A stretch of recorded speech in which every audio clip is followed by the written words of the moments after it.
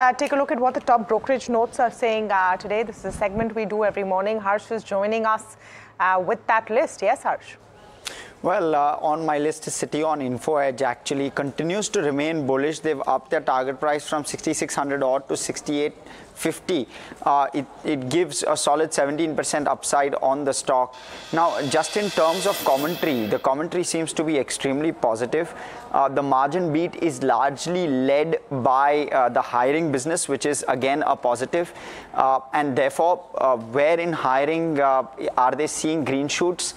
the first is Uh, with regard to IT hiring. IT hiring trends uh, seem to show some amount of an uptake, uh, and that's the positive that one takes from it. Consultant sector absolutely flat uh, as they see it. And uh, there's a lower loan uh, there there are lower losses in the non recruitment verticals. Uh, that's probably what is aiding margins is what the uh, management seems to suggest. Uh, basically it's the lower losses which is you know causing the margin expansion and which is the positive. But q4 billings positive. The JobSpeak index also seems to be quite positive and overall billings should improve from here on gradually is what the management seems to be suggesting. Of course, uh, uh, that's uh, overall seems to be a positive outlook going forward. On the back of that, Citi has tweaked its estimates.